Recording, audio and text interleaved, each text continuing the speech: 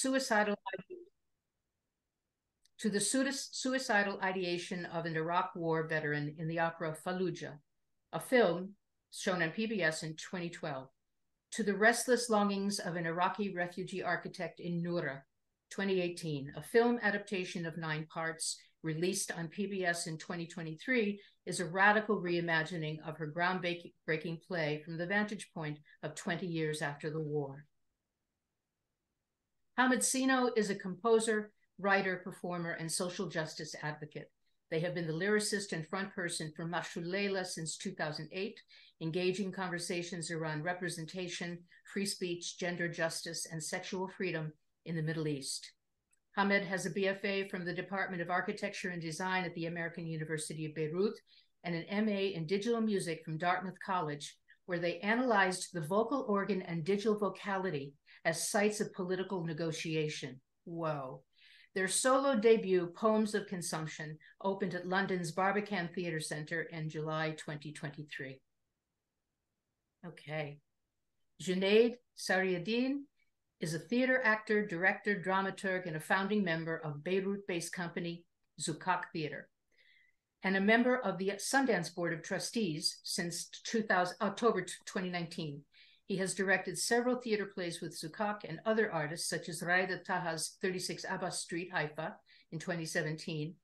As a dramaturg, Junaid worked on several theater and dance performances and performed in more than 20 productions in the past 14 years, touring in multiple cities and festivals around the world. Since 2016, he has been a fellow artist to the Sundance Theater Program, where he took part in various theater labs, both as a director and as a dramaturg in the US and in the MENA region. Welcome, everybody. It's so wonderful to see your beautiful faces.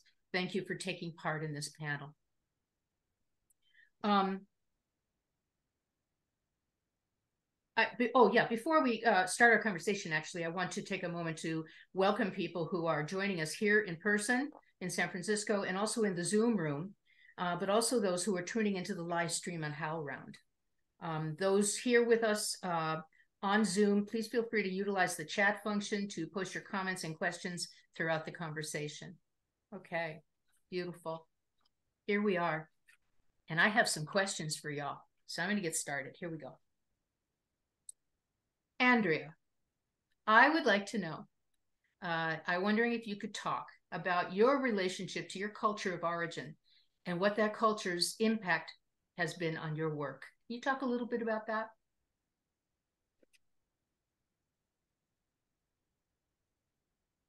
Did you hear me, Andrea?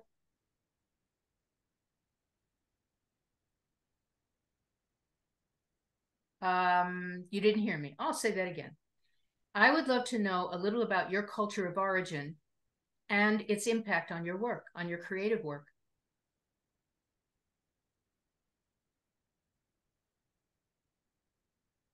Aha. Okay. I will come back to you, Andrea. Okay. No worries. I will come back. All right. Um, how about uh, let's talk to with Junaid first. Um, I'm going to just read something that refers back to your description of the work that you do. Um, establishing Zoukak has provided Junaid a broad experience in art direction, curating cultural events and festivals, in addition to the knowledge in the management of non governmental and cultural associations on the national, regional, and international contexts. He was a member of several initiatives focusing on cultural policies and other social and cultural issues in Lebanon, including censorship, public space, cultural heritage, and history. Can you talk a little about your experience addressing these concerns um, in either your work with Zoukak or your work with Sundance? Um, and we want to hear how that came about, by the way, how you got involved with Sundance.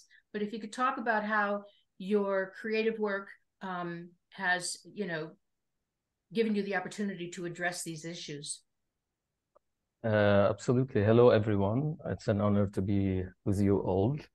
Uh, so my name is Junaid Sarieddeen. I'm from Zoukak Theatre Company. I'm speaking to you now from Beirut, from a, like around 282 kilometers away from Gaza, or 160, 76 miles from there.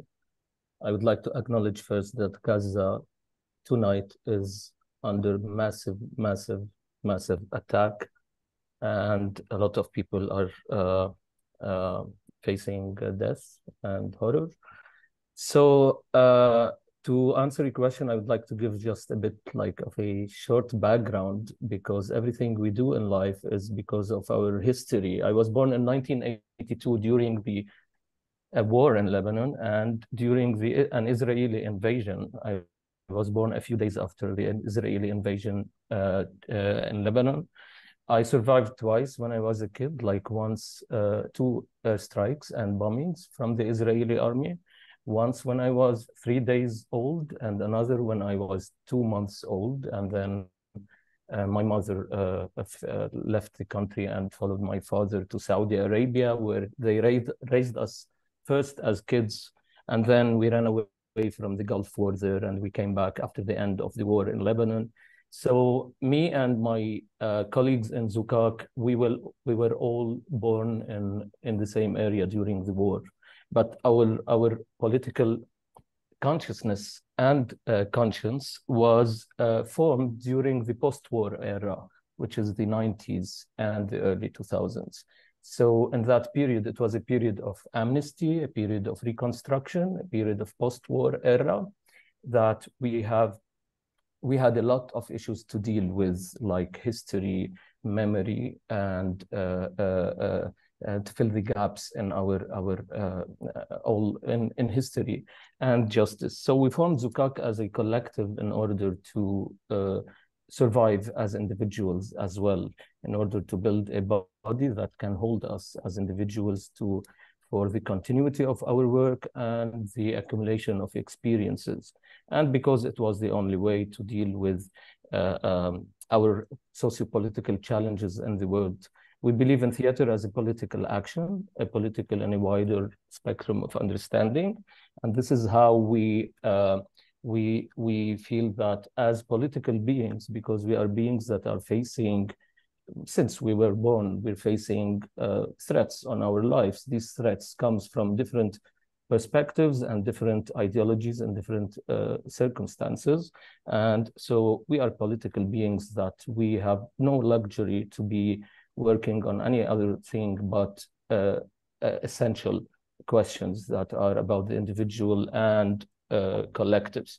So uh, since then, we we in Zoukak tackled a lot of topics through theater, like related to gender, um, death, uh, gender, death, violence, history, and religion and power, and all these questions were at the core of our practice.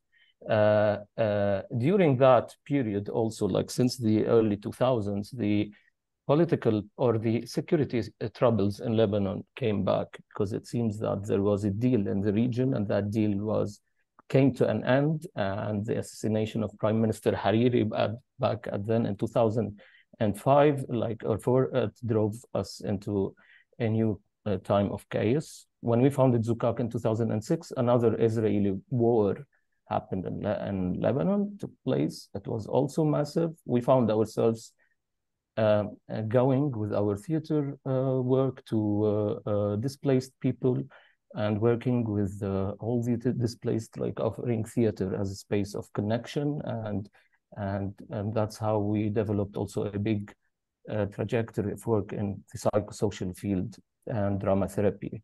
And during that time, after that, in parallel to all these external threats, we have our internal issues that we had to deal with, like all the sectarian politics in Lebanon and all the marginalization, marginalizing systems. And these were the main, our own focus.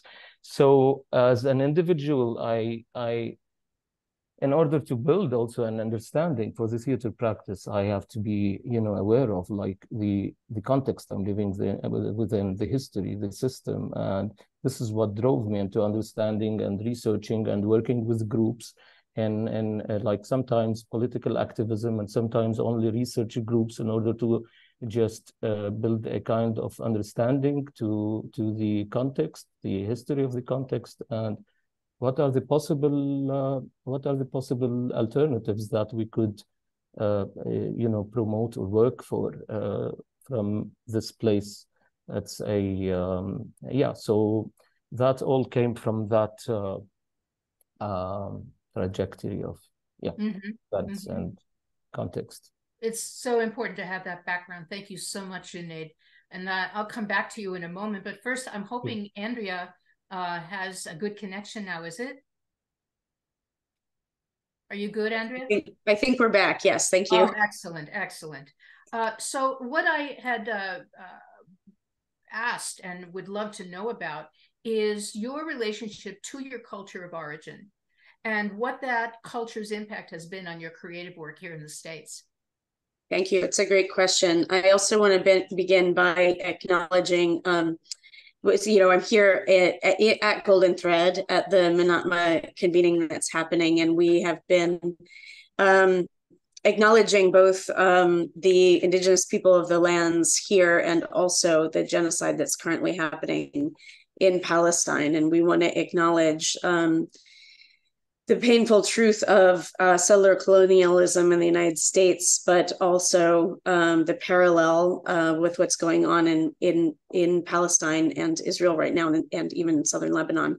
And uh, we mourn the loss of all the all the innocent people being killed, but we condemn also the violence and terrorism in all forms, as well as uh, the apartheid system and uh, the condemnation of Israel's illegal and military occupation since 1967 um, in in Palestine, and uh, we've been making a real commitment to um, keep saying that throughout our gathering. And uh, so, to to honor that commitment, I wanted to read uh, that part of the acknowledgement as well. Thank you. Um, but back to your question, um, I I grew up actually quite isolated from any Arab community or identity uh, here in the United States. I'm, uh, you know, my grandfather and his father came from Lebanon, uh, and my father was born in Buffalo, and I was born in Virginia, and uh, lived part of my life in rural Pennsylvania, where there was no Arab community to speak of whatsoever. And so it's really been very much a part of my adult life as an artist, a very intentional investigation into cultural heritage and aesthetics um, that's really driven much of my work since 9-11 um, i was a new yorker in 9-11 and experienced it both as a new yorker and as an, and, and then immediately experienced the anti-arab and islamophobic backlash that resulted literally literally overnight and um and and it's and it's and it's shaped my work. It's shaped my work for the rest of my life. Um that uh shift in, in in how i experience my own identity as an arab american because you know I, would say pre 9-11 particularly being lebanese was quite um cosmopolitan and maybe a little cool. Exotic even. And then uh immediately became uh, you know, everyone who uh, remotely looked Arab, whatever that means, was uh, public enemy number one of the United States. You know, as soon as we entered, certainly into the era of the the wars on, on Afghanistan and Iraq. So, um, so it was quite. It's been a, quite an intentional um, process of reclamation through collaboration collaborating with artists from the region and also from the diaspora here and, and certainly i've been influenced by heather's work very deeply um, and uh, and and and all and the work of many of the artists who are here uh, at the MENATMA convening now um, online and in person. So maybe I'll stop there and and we'll talk more. Uh, yes, definitely. I'll come back to you. I have some specific questions based on what you just said. And by the way, I mostly grew up in Buffalo. Okay, so we'll talk later. Okay. I um, this. uh, Hamed, Hamed, you know, you're the original leader, singer, songwriter for Mashrou' Leila. And I have to tell you that having introduced the work of the band and your play, to my students. They're all kind of madly in love with you. I thought you ought to know that. Um, it's a burden, but you know, I'm sure you can deal with it. Um, now you're based in the U.S. You're a poet. You're a playwright. Um, and I'm, I guess, my first question, and that there will be more. are the challenge is about the challenge of being a high profile successful professional musician who identified as when identifies as queer in Lebanon. How does life differ here for you? And what are the challenges now? Because I'm sure there are challenges uh, to being who you are and living life the way you have done. Um, but is it the same as in Lebanon or different? Right. Um, so I mean, because this actually ties into to my answer, I would like to also start by acknowledging that there is an ongoing genocide in, in Palestine. It's been ongoing since 1948, um, and that we are currently on Lenape land. I'm currently on Lenape land and would typically like to grovel for the Lenape's future mercy when this land inevitably is returned to its rightful stewards because all empire will end. Um, but um, otherwise, I mean, look, I, I don't particularly sort of identify as a playwright. I think I'm someone who, who just falls into things quite often. Dude, I read your play, okay? So I mean, I'm not I'm not trashing the play, right? I just I wouldn't necessarily say that this is my vocation in life, right? I'm currently working on an opera.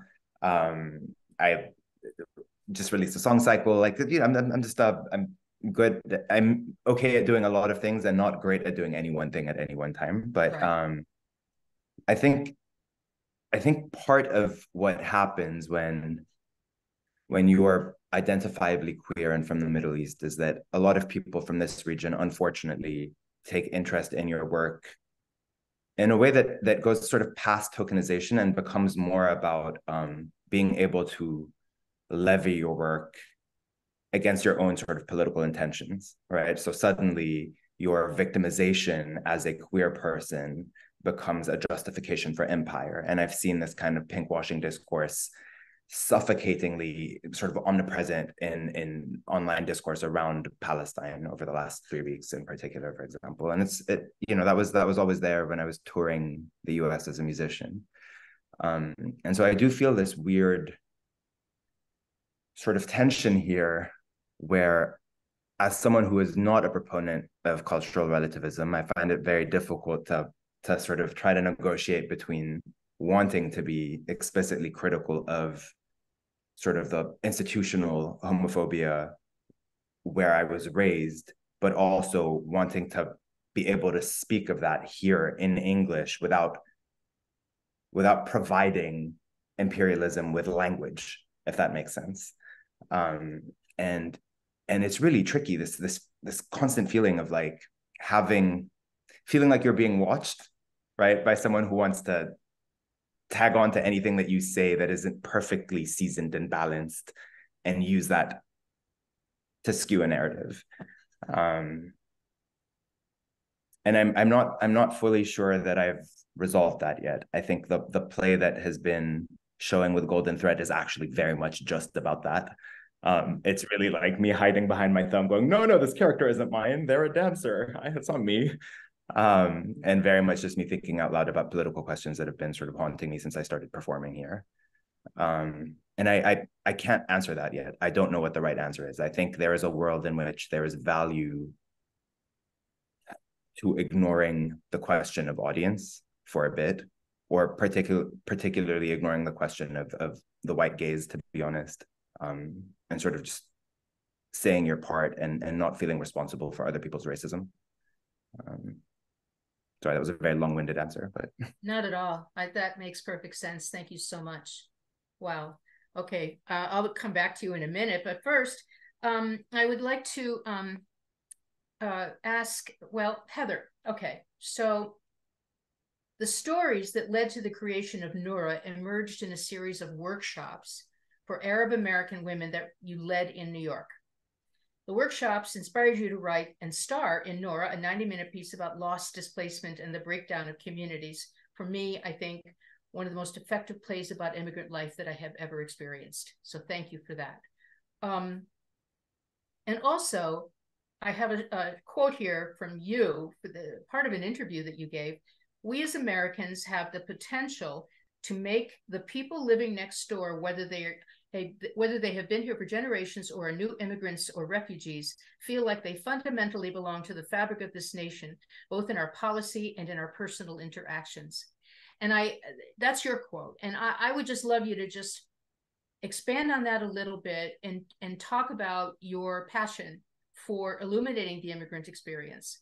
And I mean, we, you know, we're starting with the communities that we come from, but I can't help but feel that especially you and Junaid and Andrea are also working intersectionality, intersectionally uh, with other communities.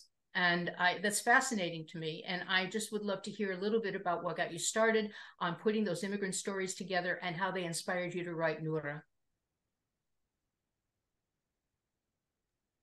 Hi, all. Um, I'm Heather. I'm really grateful to be here today. And um, I also want to start with an acknowledgement on behalf of the violence that's being perpetrated in our name. I would say that particularly as Americans, but also because this room is just so special and this community is so special. And I know I just want to acknowledge what we're holding. Um, I offer that because I've had some like I've had health issues this year, and I've realized maybe for the first time like how how heavy it is on our bodies, our psyches, our souls to be um, carrying and trying to rectify and trying to speak and trying to champion and trying to bridge um, as artists as humans all the ways that we do and how much even just gathering in community is is both healing for that but also the place we can finally come and lay down our baggage for a second right? So um i just i feel that really profoundly in this moment how um how great that is. And i'll start by saying that um i'm iraqi american my dad was an immigrant i was brought up in michigan and i i think i didn't much know what my sense of belonging or identity really was until the first iraq war in the 90s hit and I was 20 at the time and I'm 53 now. So I would say that since since that awakening at 20, it's been 30 years of of nonstop war. really, right? And it it would be I was in also New York when 9/11 happened. It's it would be um it would be nice every time I think as an artist, I'm going to move into some other territory something else comes, right? That is just so massive that I have to put everything down to um to be where we're at. So I'd say that yes, war has completely defined me um and who I am and what what my reason for um creating art is. Um, and for the longest time, I felt I was bridging an Iraqi American divide and voice during during an actual war like in days where you couldn't speak where anybody that said anything that may be said from an iraqi point of view was was canceled right? Or was it was not allowed on our stages and before there was even a genre of middle eastern american theater. Like so those those days i know we're all feeling similar things now. So i bring it up to say like 20 years ago it was it was not a given that we could do plays about the middle east. They weren't they were not on our main stages. They fundamentally were not allowed. And nine parts was you you know we we can we can make a nice quote about things now where it was received or whatever but like it was unanimously turned down by every theater in the United States that I submitted it. And this was for a reading for a give me a workshop in your basement not put me on your biggest main stage so so like where we've come is is still mighty as we're getting to this point of what we're speaking. But um, so Noura Noura did come out of um, four years of workshopping with um, Middle Eastern women in Queens, New York. Um, some of them were born in the Middle East, some of them were born here. And it was a grant that was designed to build a demand for theater in the Arab American community of New York. So the goal was not to go into a community that had theater or was ever even going to theater, but to go to a, a subset of the community that saw no value in it, that maybe had never even cared to see a play, right? Um, so in in working in this community over time um, one thing that kept coming to the surface was the issue of individualism versus community and i think that that's something in america in particular we were we struggle with we are a rugged individualist society and that's unsustainable. Right? And capitalism it's it's just all unsustainable.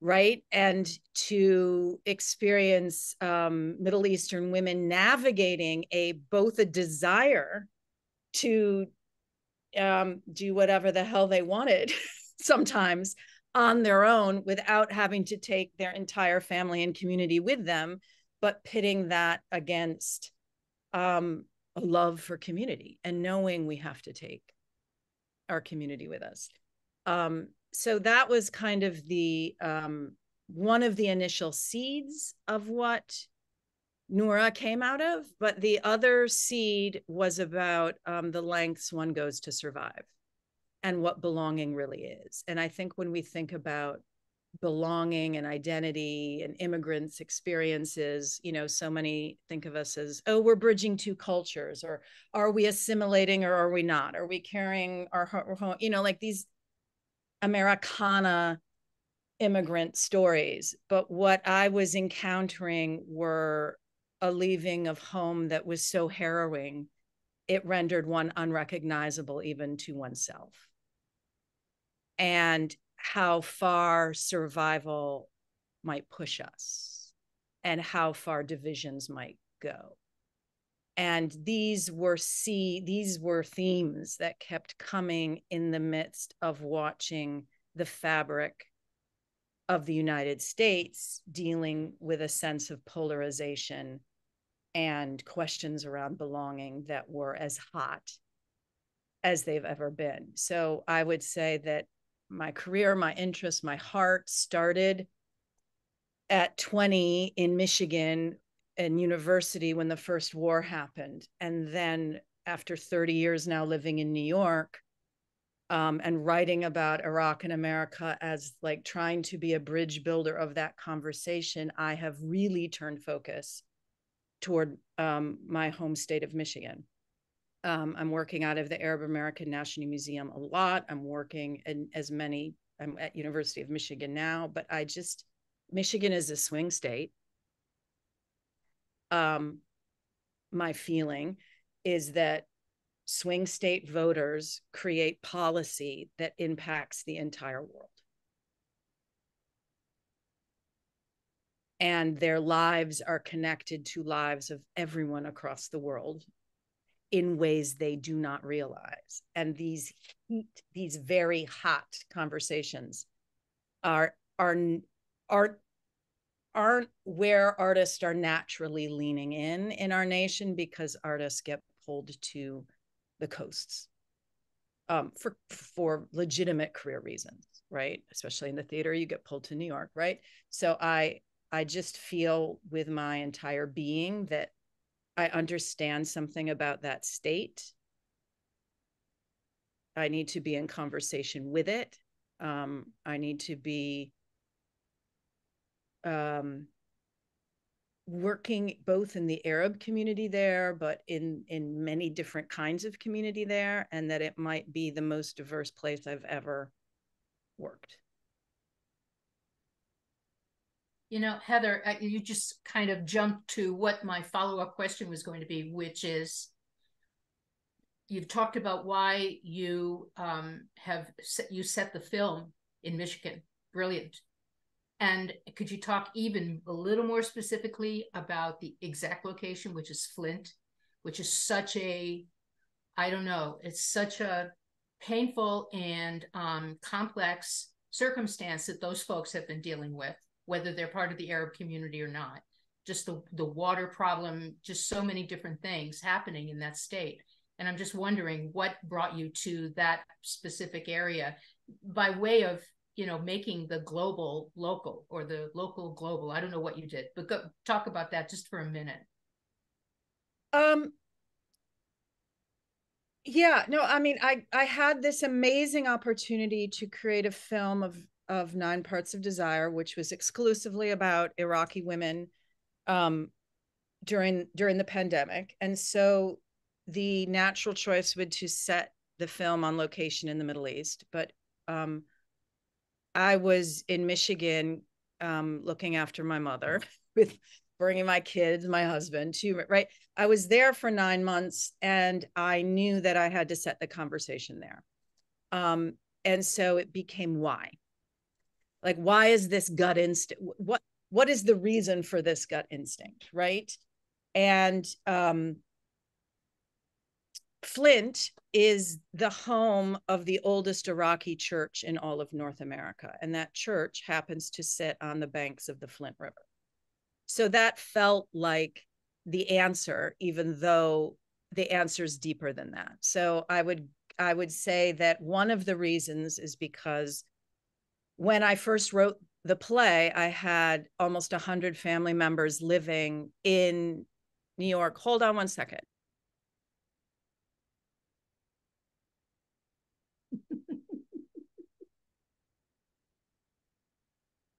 I just made sure they knew everything they were saying would be heard on Zoom for half the world. Anyway, um, so my my 100 family members that had been in Iraq for it, their our our um, ancestors for thousands of years were now scattered across the globe. I have one cousin left living in Iraq. So this sense of this story I was telling about people that were in Iraq for me personally was a story about people that had been are now in diaspora and this church is built by people in diaspora but um, the particulars of what of this church that is so beloved and so well cared for is that it is in a community that was once thriving and economically very successful and that now is so forgotten and so destroyed that anybody walking through it would call it a war zone. I mean, there are burned out homes, it is rubble, there are people living in extreme poverty. And it is unmistakable to me personally that, I mean, the Iraq war could be um, whittled down to oil from an American point of view, right? And why oil? Because of the car industry. And Flint, like this church on the other side of the river, are the closed down GM Chrysler plants. Like it was just the the the levels of interconnectedness felt very great. And I also just wanted um, any American watching the film to instead of watching something about Iraqis over there or the war from 20 years ago, for them to constantly feel that the, the thing that was right next to them, the divisions they're feeling with their neighbors, the reasons, like the, the implications of what it meant to be American in that war that we led, and that the costs are here now. We brought the costs over there. We did it and and then we brought the costs home and now we have to face them thank you so much heather i remember our first conversation about your you were going to make the film we were speaking on the phone and i just i could i actually after i got off the phone i couldn't stop thinking about exactly what you said a briefer version of what you just said uh, about setting it in Michigan. So thank you so much for that. Um, and by the way, when I was a child, I, I haven't spent much time in Michigan. Uh, actually, my husband grew up there, but my only times in Michigan were at Haflas in Detroit. We, we would just go to parties, you know, and then we'd get in the car and drive home, whatever. Um, so, uh, Hamed, I'm going to come back to you. I'm um, particularly uh, struck by this project that um, is described in your bio, um, where you analyzed the vocal organ and digital vocality as sites of political negotiation. Okay, my head is exploding. Could you talk about that a little bit? Yeah, so I mean, this is uh, perhaps uh, less identitarian and more um, more a, a, a, Marxist analysis, which I'm I'm okay with that. Which I which I'm biased towards, but um, biased for rather. Um, I um, the history of of speech synthesis, for example, is deeply tied with um, America's attempt to disappear the working class, right? So from the get go, Bell Labs um, expressed that their intention for for wanting to create artificial voices and this is back in the 30s was to do away with the need for phone operators right so suddenly these jobs that are typically done by people using their bodies right start to disappear and obviously we've seen that with the way industrialization has evolved over the last you know however many decades um, with the reduction of working class jobs and then the pushback. Um, and for me vocality itself i mean the voice and maybe this is because i've i've i've always been a singer but um i feel like the voice is, is really just one of those miracles of, of, of the human body um where especially for a body that is expected to hide right the idea that you could sort of publicly take in air, right? Draw in from this sort of collective life force that we share and use this sort of abject flesh prison, right? To, to create something that's that's beautiful and that is essentially signifying that language is is an inadequate conduit of meaning, right? There's there's a surplus of meaning that happens when you're singing words instead of speaking them. Um, and it really does sort of gesture the body towards the ineffable. And when that comes from a from a sort of otherwise abject body, it's it's it's just I don't know. It gets me all like hot and ready, to be honest. Um, sorry, that sounds really daft, but it is what it is. Um, and I, I think something really interesting happens when you when you take that organ and try to attach it to AI, right, or to a machine. Um, and what that does is not always necessarily a bad thing, right? It, there's there's all sorts of sort of transgendered transing of the voice that happens through AI and through speech synthesis.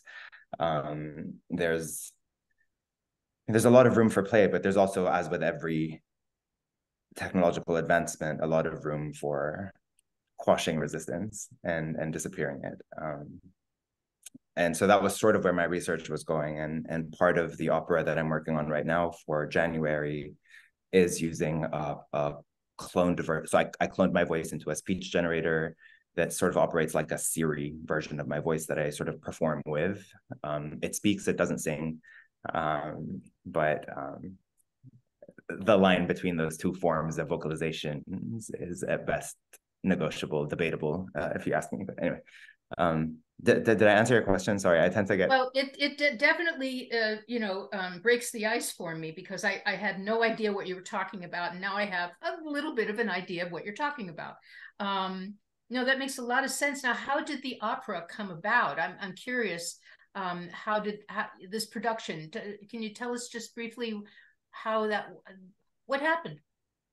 Uh, what happened is I I stopped being able to write music for a while. Um, I feel like I had a career that uh, exposed me to, and this isn't this isn't like a victim narrative. I'm great. I live in New York. I'm my first commission is with the Met. My life is killing it right now. Right. I'm I'm just gonna preface that before I trauma dump. Right. but but I, I, I did have a sort of disproportionate amount of um of, of, of trauma uh, that I was forced to go through because of my work and because of being identifiably queer and Muslim in the public eye in the Middle East and here for a while. Um, and um and so for, for a while I just stopped being able to to write songs because whenever I'd you know open a word document it felt like uh, before I've even written anything I know I'm gonna get in trouble right like I could say it's snowing and some Christian fundamentalist in North Lebanon is going to decide that snow is code for cocaine and that this is my like devil worship, right? And this is my indoctrination of the children. Dead ass, like that is how things were working. Um, I can't believe I just said dead ass. I'm 35 years old. Um, so I, I stopped writing songs for a while. I went back to grad school, accidentally took a playwriting class, and then found myself really sort of drawn to to, to musical theater um, because it felt like so much of what I was doing as a performer on stage, sort of presenting an audience with this persona of like, oh, here's a body that deserves to be on stage. Look, I'm gonna be a rock star now for the next hour and a half before I go home and like binge on Taco Bell and cry about being alone, right? Um, and that was very much a, a character that I was synthesizing for an audience, and it felt like it felt like theater at some point. Um, and so I started writing in that form. And I think the line between musical theater and opera can be defined when the person defining that line is willing to say that opera, in its current definition, is necessarily a racialized form. And so I'm using the term opera just to piss off a bunch of people that don't acknowledge that um, and to get that kind of funding, to be completely honest. Um, but yeah, does that answer? Yes. Yes, yes, thank you. I was really curious how that came about. Brilliant, brilliant. Um, uh, Junaid, I wanted to come back to you. I, you know, um, I think one of the things that uh, has impressed me most about your work and and Zoukak's work um, has been the way that um, you have reached out into the world in a huge way, all of you, um, you know, Europe and the United States and all over the place. But you have such a uh, sharp focus on Lebanon and different communities in Lebanon. And you have a, a great deal of the effort on the part of the company, uh, I think, is on interacting with those various communities and getting their stories can you talk a little bit about that? Yeah, sure. So, uh, I mean, our our uh, uh, our work is uh, very contextual. Like we connect because our aim is to work on all these systems of marginalization. So, as like we work with marginalized groups that are identified in different ways in Lebanon, like as uh, refugees, migrant uh, domestic workers, uh, um, queer communities, and etc. So, and mainly in Lebanon, there are like the challenges are on different levels, of course, like on the socio-political spectrum. So, our as individuals living, we have our political and economical uh, challenges that we need to deal with, but also on the social level, we have issues that are related to religion, sex, and politics in general. These and these are the three main areas where you have uh, censorship on it. Either this censorship comes from um, from the government or from the uh, social groups uh, in Lebanon. So, and through that, you can see what what are the topics that that shakes the system in a way and shakes the consensus and the and how the system is formed.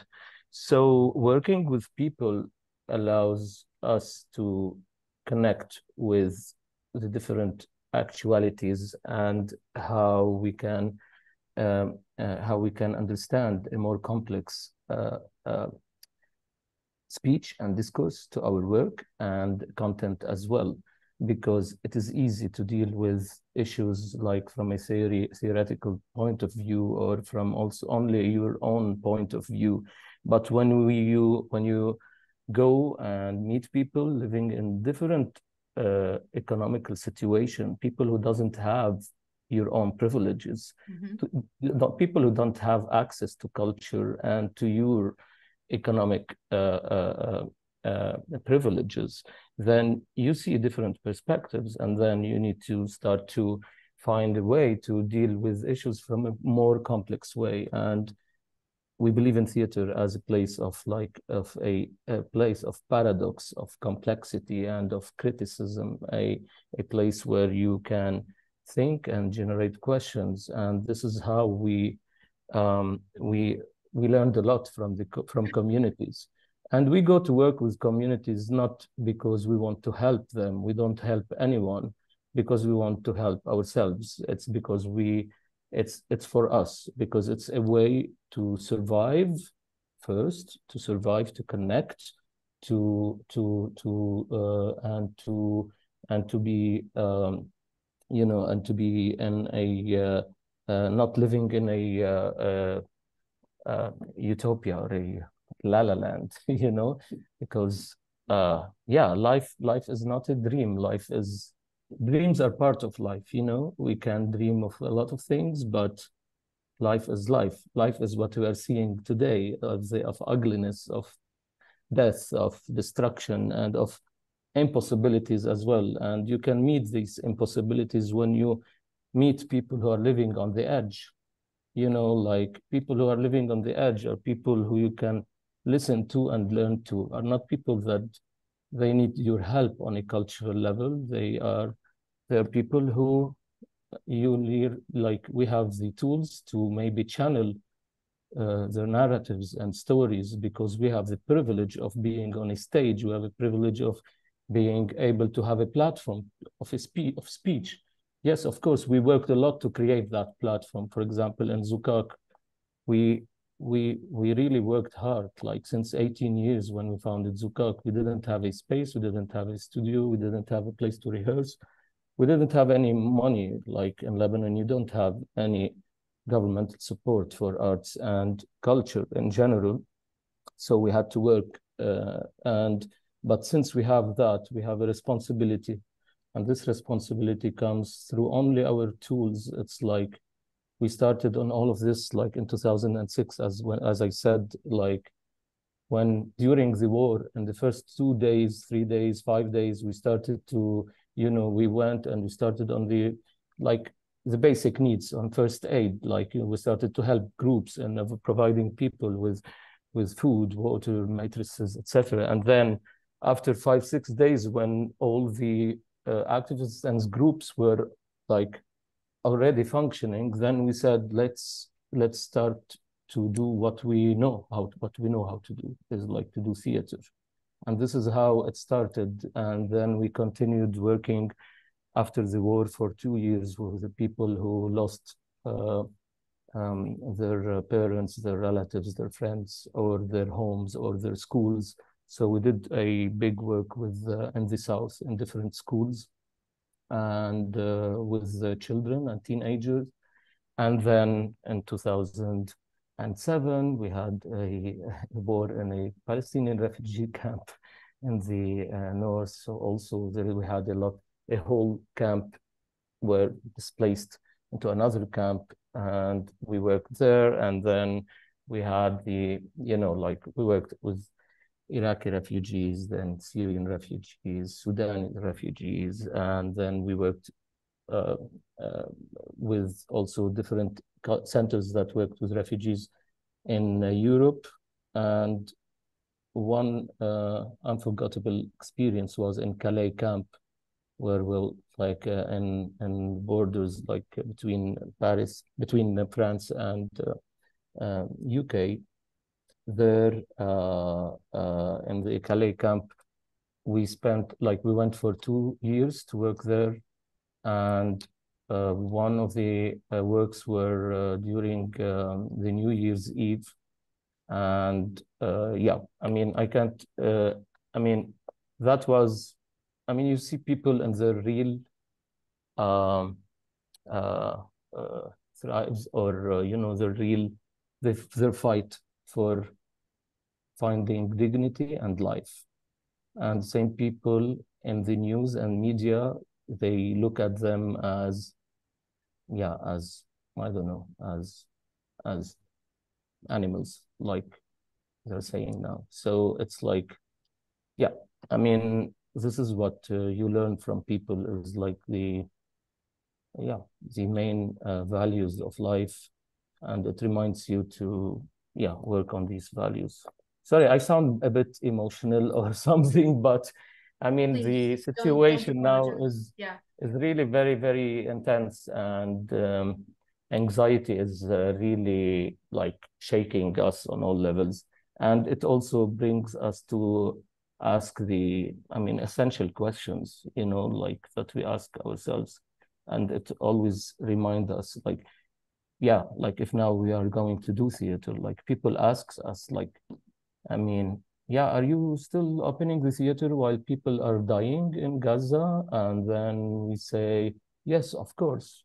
I mean, it's difficult to carry that here emotionally and physically, and to go to the theater and to do music parties and to do open theater and to do programs with the with the, the we have a mentorship program that is running now with the artists and like and to do theater and sometimes pieces that are talking about different topics. But yes, we hold this responsibility and we hold our bodies and emotions in order to face the the the situation. And this is how this country have survived also through through uh, the past uh, hundred years. Like also through art and through the love of like art and culture and singing and music you see, during the worst days of the past wars in Lebanon, you have families gathering at homes and singing and uh, drinking alcohol, and you know, and yeah, and this is this is what we want to do. And plus, we are like art is our profession,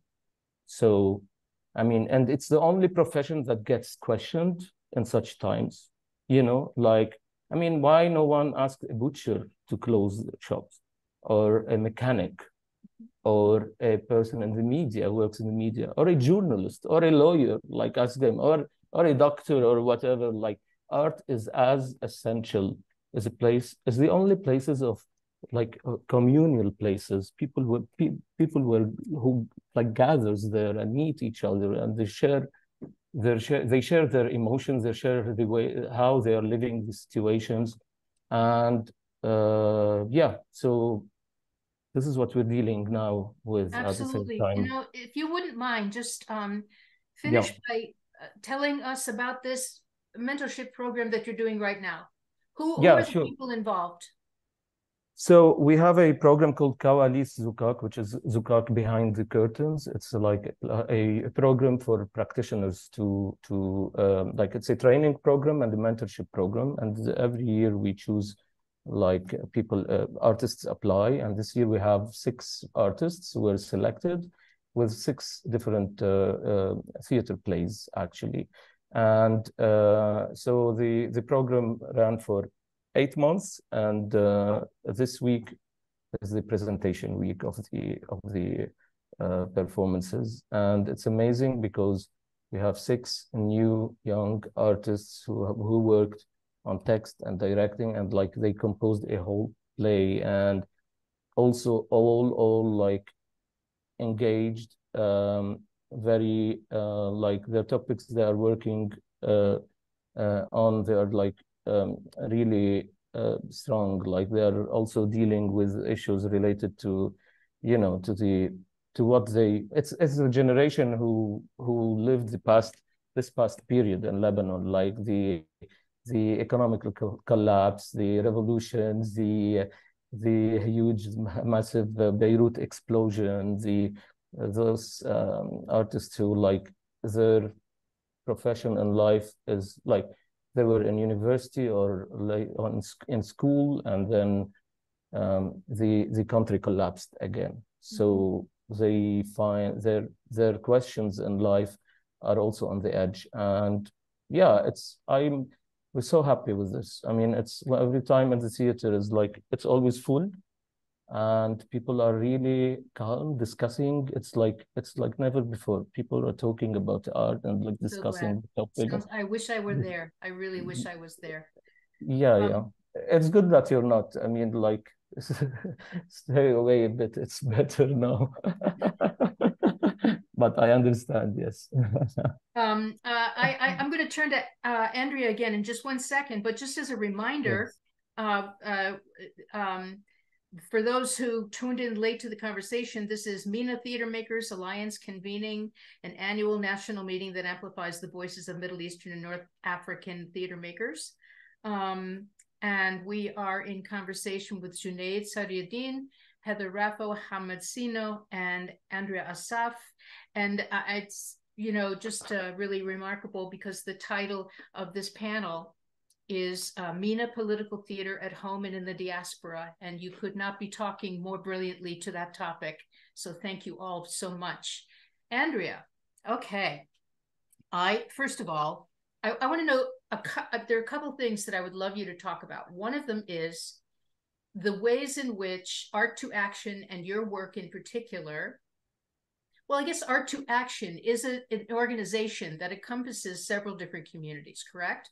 So I'd love to hear yes. more about what's happening there. Are they uh, the, those communities? Are some of them immigrant communities as well? And then two, um, I definitely want to hear about Eleven Reflections on the Nation, definitely. But first, talk about Art2Action, if you don't mind. Sure. Um, Art2Action is a, a, a coalitional project in a way. It's um, designed to support artists who identify as people of color within a US framework, uh, as well as queer identified artists and women uh, artists who are leading ambitious projects. And um, it's really uh, constructed as a kind of response to the system, the systemic inequities in the arts field that are, of course, a microcosm of the nation at large um, and our impact globally as well. Um, so it's not, even though I'm an Arab American identified artist, it's not an Arab American identified organization because I think my queer identity is as important and has shaped me as much as my Arab identity. Um, and in fact, I often feel, I often say I, it was easier to come out as queer than it was to come out as Arab in a post 9-11 America. But anyway, um, uh, uh, so I, you know, so I really, I, I, really have always been interested in movement building and the the ways that we can learn from each other's movements, the history of uh, in, incredible uh, movements, um, you know, civil rights movement to the movement for Black Lives in the United States um, it, it, movements for indigeneity and land back movements and um, the ways that various immigrant communities and communities of color in a U.S. framework have um, have uh, have art, art and cultural expression has been a part of uh, movements for change pretty much since this nation became a nation so uh, so I'm I'm really interested in that, and I'm interested in how uh, Middle Eastern theater makers in the framework that we're using, or or people with ancestry in Southwest Central Asia and North Africa, can learn from the movements that have come before us, and how we can connect and build together and break this.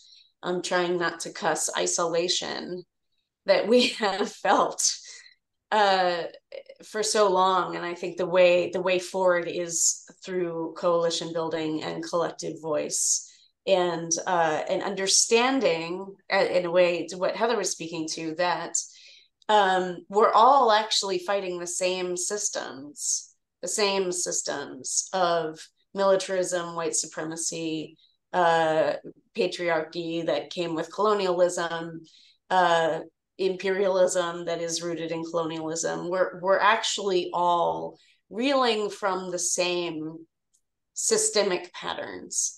And if we can see that, then we can build more power together than we can apart.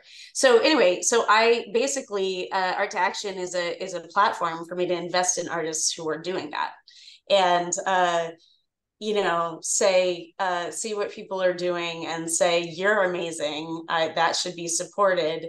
And if if like the mainstream of our theater community doesn't get it uh, let's see if Art2Action can leverage some money to make it happen and uh, or to be a partner in helping make it happen. So that's that's really what what Art2Action about. And it's also a platform for my own work as well. So uh, in addition to commissioning, developing, and supporting uh, the work of other artists, um, my work is in the mix too. So uh, it's a way for me to do community based and socially engaged work in places like where I live, Tampa, Florida, like as Heather was saying, also a swing state and truly a battleground against fascism right now. Um, and that feels important. It sometimes feels more important than being in New York or California, uh, where audiences are kind of politically more homogenized, right? Um, in places like Florida, there's actually the potential that an artistic work or engagement with an artist can move the needle on a conversation in a really important way and and i'm and i'm interested in that too as much as i also like tour around and do work wherever and with with incredible organizations all over the country which leads me to 11 reflections on the nation so uh you know, so I started uh, first. I started with a solo show called Eleven Reflections on September. That was really just uh, gathering pieces of poetry and spoken word that I'd written since 9-11 and saying, you know, for my very New York spoken word aesthetic, what would happen if I collaborate with Middle Eastern musicians and see what we can make together and made this kind of very hybrid multimedia piece that toured around for a while. And then um, and then during the pandemic, we we had an opportunity uh, supported by the Carver Community Cultural Center in San Antonio to turn it into a digital production, which was really like one of those things when you know, as a good as a well-trained theater artists, someone says, "Hey, could you make this into a digital piece?" You say, "Yes, I can." What does that mean? I'll figure it out. and I like accidentally made an experimental art film that is now like got 20 official selections in international film festivals around the country. I don't know. Thanks. Uh, um, but actually, uh, then I started feeling like, uh, yeah, that that was that was therapeutic for me to um, rant on stage for many years and collaborate with these amazing artists. However, my voice is particular and not enough at all. We're not remotely enough right now in the in the political moment that we're in, right? So, eleven reflections on the nation is about how can I um, go around the country using the the the instigating the initial work as a kind of instigator to ask lo- locally based artists and communities in each location what is the impact of the the policies that followed 9-11 this post 9-11 era in your community? I know what it was in new york. I lived it in new york but i don't know what it was in texas or california or and how do how do we create a platform to talk about that? And so it's certainly how it's impacted MENA or SWANA communities uh, of course, um, everything from you know the wars to the Muslim ban, and uh, but also how 9-11 and the policies that were created after impacted our entire immigration system, impacted our entire electoral system. It impacted the way that the US is participating in proxy wars now. Right so that those are the questions i'm interested in so i you know go around the country and i look for a partner i'm very excited to be partnering with golden thread here in san francisco uh, next season on a san francisco version with uh, with brava and some other partners uh, and we did this in san antonio and, and eventually it'll make its way back to new york but i want to but i want to gather these stories around the country first and hear hear the voices of you know like for example in san antonio Arab and Muslim communities are very isolated in that city. Um, there really wasn't, you know, um, there wasn't a, a, way for people to gather in a public venue like a theater venue. Like we we had a, a an artist who participated who had an Iraqi musician had an entire 10 year career uh, on, in Turkey as a as a celebrated musician on television, came to Texas and hadn't been on a stage since he arrived in the United States. And I mean, extraordinary musician, and nobody understood that he was right there in Texas, right? And so I'm really interested in those, uh, not only the gathering the stories of the community, but where are our artists? What has displacement done to our artists? Right in the in the wake of the Iraq War, in the wake of uh, the war in Afghanistan, in the in the forces that are driving mo- global migration that Heather's working on right now, right with the new migration play cycle that she's doing. Um, so that's what 11 Reflections on the Nation is about. And um, the idea is then to take some of the strongest pieces that are devised out of that process around the country and bring it back to New York for the 25th anniversary of 9 11 to really ask the question how do we commemorate? How do we remember tragedy and whose voices are left out and whose voices matter? Uh, and and so that's the that's the project that's the intention Wow. Thank you so much. It sounds incredible, truly.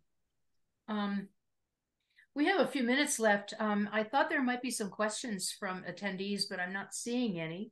Um, I wonder if this is a moment uh, where you, the panelists, might either tell us something that I haven't asked you about that you would like to share, or do you have a question for one of the other panelists? Based on what they've been talking about? I'm just curious.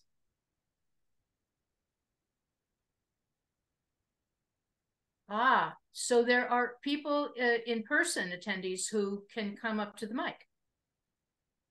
Great. Is anyone eager to ask a question? I see the mic, but I don't see people moving toward it. And so we're going to keep moving on. Um, and and panelists, you're going to say, if there's anything else you'd like to share, or if you have a question for each other. I had a question. Curious? Yes.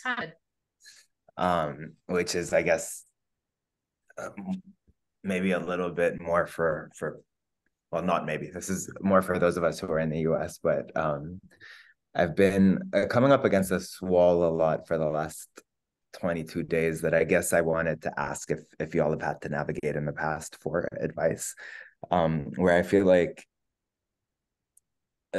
partially maybe because of our backgrounds and what we grew up with, we have a tendency to to to to feel more satisfied by our work when it quote unquote engages, whatever that means to you.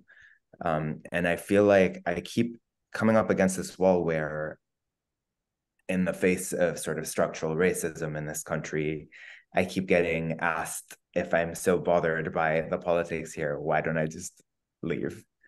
Um, which which I think is horrifically undemocratic and and actually quite unpatriotic, whatever that means as well. But um, I was wondering if, if if you've had to navigate that where you where you're sort of told that your political opinions about the way this country is operating are lesser than because of your backgrounds.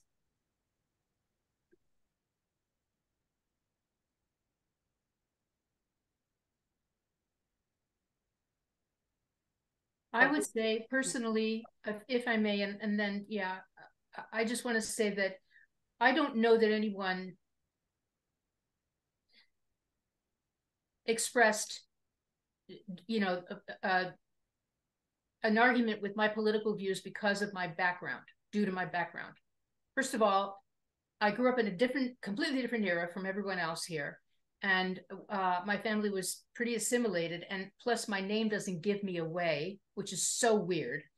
But it's actually Huri, and you probably knew this. But um, i think that in general in my youth because of my political views i was often told you know that if uh, if i was unhappy that i should just I, I should leave. And that's without even knowing that i came from an immigrant family you know as though and I was raised in a house where, yeah, yeah, you say what you think because that is the democratic process. So I did experience that, not necessarily be, due to my ethnic background. Andrea. Yeah, um, I, you know, I like to remind people that dissent and rebellion is like the most American thing ever. like all of our all of our narratives are about that, right? Um, and I also like to remind European descended folks that they are immigrants on this land. uh, yeah, I was like, literally on a panel once at like a national arts conference, and a white man next to me said, Well, you know, I'm not an immigrant. I was like, Really, Mr. White Man? That's amazing. you know, because I think, you know, again, it's about narrative. It's about the narrative. Who's shaping the narrative? Who's otherized by it? What are we acknowledging in American history, US history, and what are we normalized? What's being normalized in those kind of comments, right? Um, so the why don't you leave? Uh, also, there is no there is almost no place on the globe that the US doesn't touch now.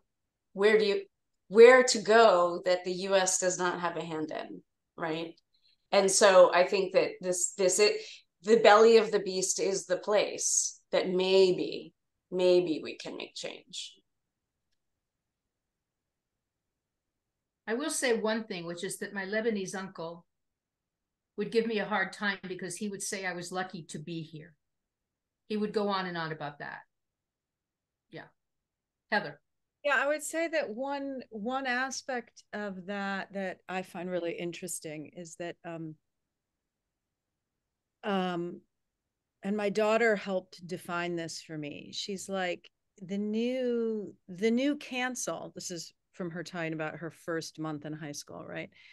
Is um you is the new cancel is so polite because nobody wants to be racist or this or anything. So it's just like you just get passed by.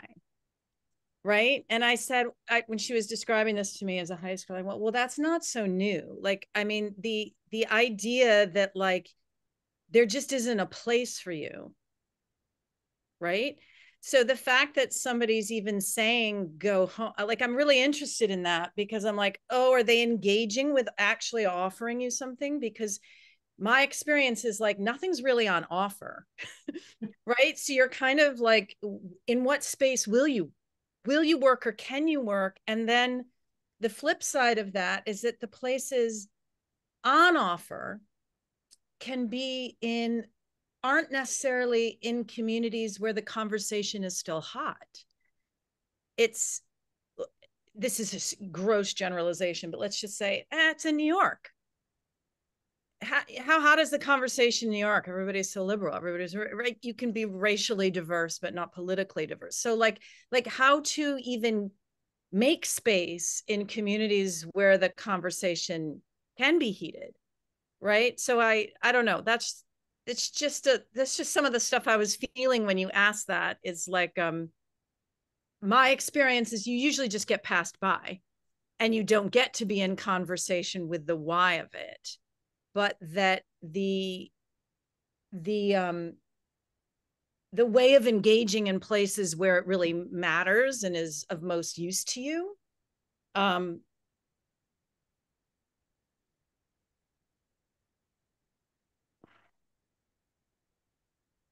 I don't know. I'm not finishing my thought on that. I'm just I'm I'm I'm just navigating um how hard it is to find spaces to work.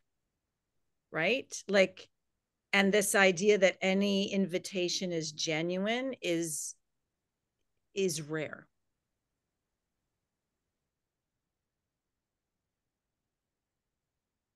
Wow. Okay.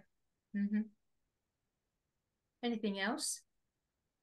I, I have a I have a I have a random thing. Um, and this is I think due to the title of this talk. Um, so it's not a que- it's a it's a wonder more than it is a question of um there has there is rarely work in translation. You know that. Done on our stages catherine and you've you've championed that and tried to make it happen. Um and the the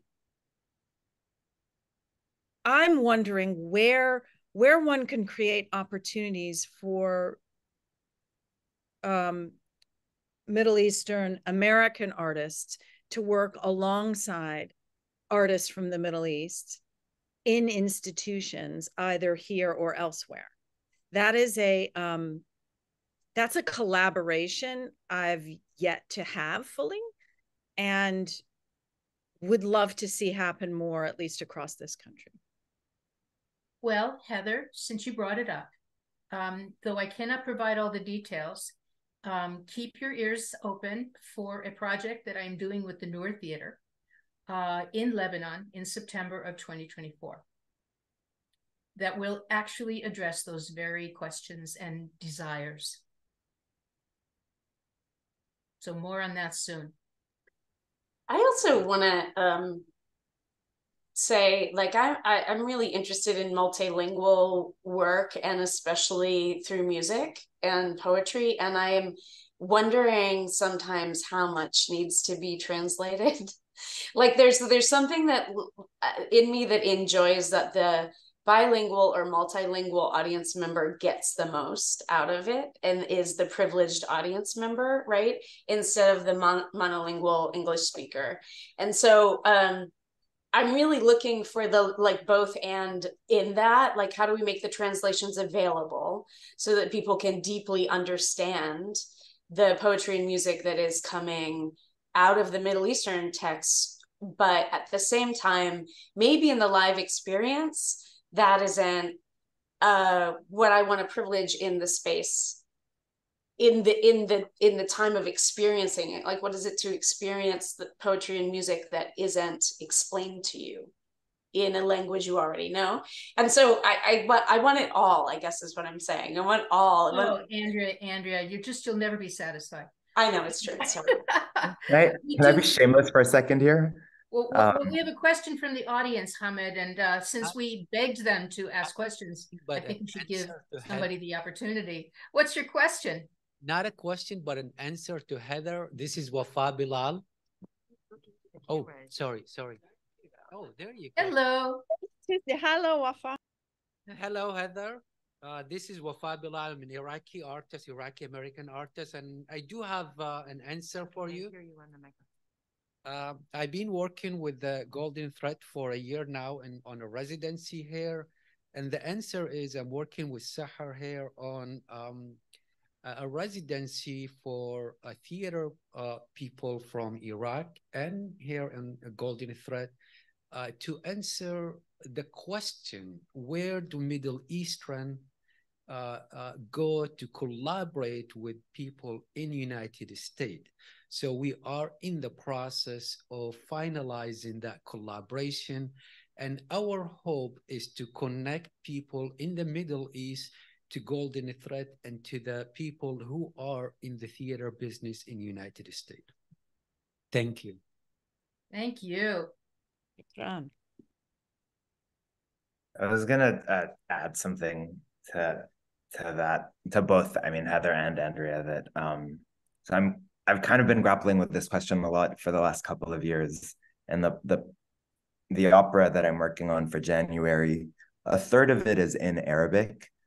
Um, and it it really does matter to me that that something within discourse around opera comes out in a language that is not German, Italian, French, or English, right? Um, and so that's been like really sort of tricky to navigate and there are parts andrea in which like there's a part where i sing a mawwal which for me is actually a very loaded form because it's something that i resisted very actively when i was in beirut because it you know i associated it to everything that was conservative and sort of bogging me down while i was there. And on coming here it sort of felt like a weird kind of surrender. And i think that will not translate to anyone except the bilingual people in the audience well specifically except the bilingual immigrants in the audience. Um, and so there are parts in which i'm not translating the arabic um, to english but everything that is in english is translated to arabic in the in the subtitles basically the projections on stage. Um, but yeah no it's like it's a crazy question and i feel like it's so it's so meaty and there's so much room to play there and to, to sort of really sort of kick at things and it's it's very exciting. You know i've had so many plays translated and um and we've had workshops as heather knows uh, and readings and you know um, some of the I, I just need to point out that some of the organizations that were focused on work and translation and on really connecting with playwrights uh, in the middle east and beyond um, have shut their doors for one reason or another. And the organization that I worked with for many years, which was the Lark, uh, I was the director of Middle East Exchange there, and that was the mission. Um, not only with the Middle East, but uh, yeah, with uh, Eastern Europe and Mexico, and you know, um, and it was a thriving uh, organization for a long time. And uh, I, we need to rebuild. That's that's my take on the situation in terms of creating exchanges. And uh, you know, I'm working on it. Um, anybody care to join me? Just let me know. Um, but meanwhile, we are at time, and uh, you know, I just I can't thank you all enough for just sharing so much with us. It's very meaningful for me, and I'm sure to for anyone who was listening in. Um, I want to thank HowlRound for hosting the live stream program. I hope people did tune in that way. Uh, as a reminder, the panel will be archived on HowlRound's website soon. Yes. So please feel free to share it with uh, people who couldn't make it today. And uh, thank you. And um, I hope that people will be able to um, join MENATMA for the remaining sessions. And uh, with that, I say good afternoon from Washington Heights. Thank you. Catherine. You.